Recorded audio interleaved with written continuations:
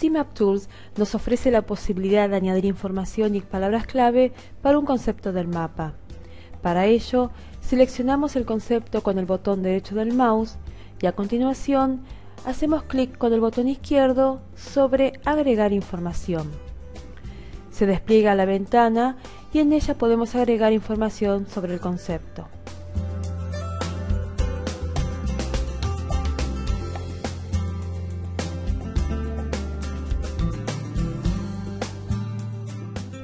Luego, al colocar el puntero del mouse sobre el concepto, veremos las palabras clave o la información que hemos añadido.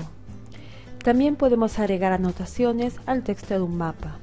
Las anotaciones se pueden usar para recordar datos que dejamos fuera o para dejar un comentario o sugerencia para un usuario que esté colaborando con el mapa. Para hacer una anotación, hacemos clic con el botón derecho del mouse en el lugar donde queremos la anotación y luego con el botón izquierdo seleccionamos la opción Anotación. Ingresamos el texto de la anotación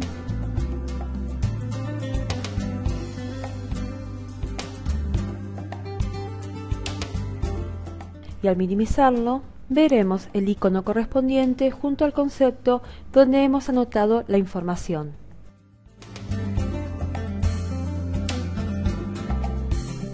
Para exportar un CMAP como imagen, vamos a la opción Exportar CMAP como y elegimos Imagen.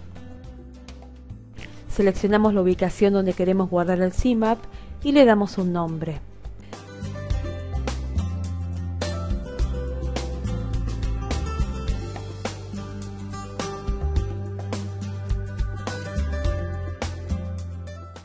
Para exportar nuestro mapa como página web, vamos al menú Archivo, Exportar CMAP como y seleccionamos Página web. Se nos abrirá una ventana donde indicaremos el nombre que le queremos dar a la página y el directorio correspondiente. La página web de nuestro mapa conceptual se abrirá en nuestro navegador junto con todos los recursos que hemos agregado.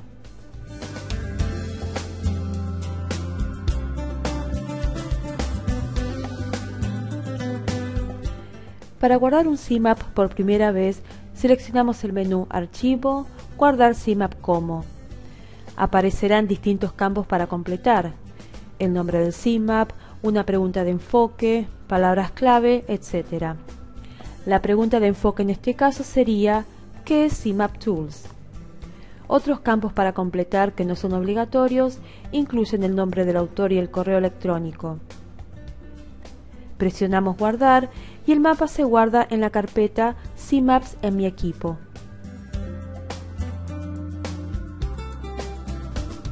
Es muy importante crear una carpeta y guardar en ella el CMAP y todos los recursos que hemos añadido.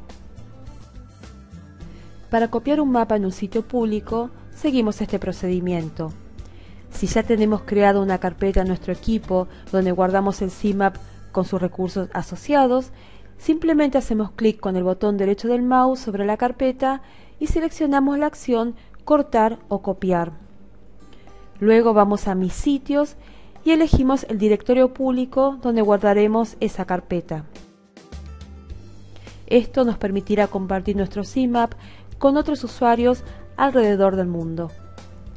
Si no estamos seguros dónde colocar la carpeta, podemos seleccionar un sitio que tenga la palabra public en su nombre, ya que indica que es un sitio público. Luego, pegamos la carpeta en la ubicación que hemos elegido.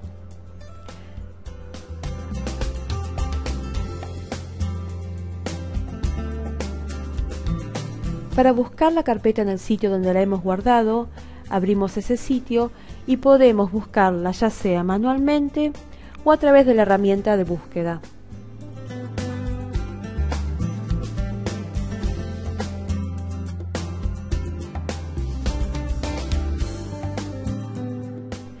Como administradores, podemos permitir o denegar el acceso de otros usuarios a nuestros mapas y controlar los permisos de edición.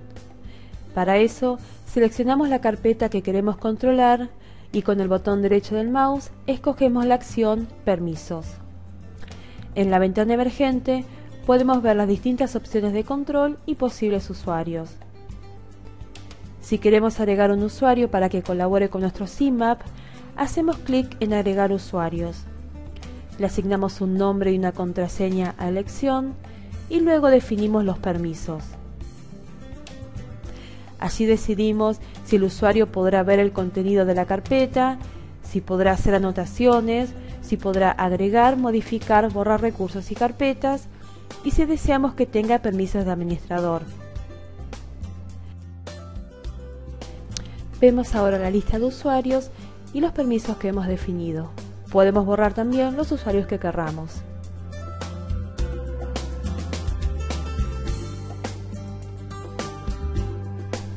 Como administradores, para permitir que otros usuarios colaboren al mismo tiempo, abrimos el mapa y habilitamos la colaboración sincrónica.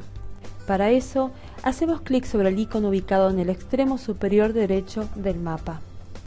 Cuando un usuario está en línea y desea editar el mapa, aparecerá un mensaje pidiendo que autoricemos la colaboración sincrónica.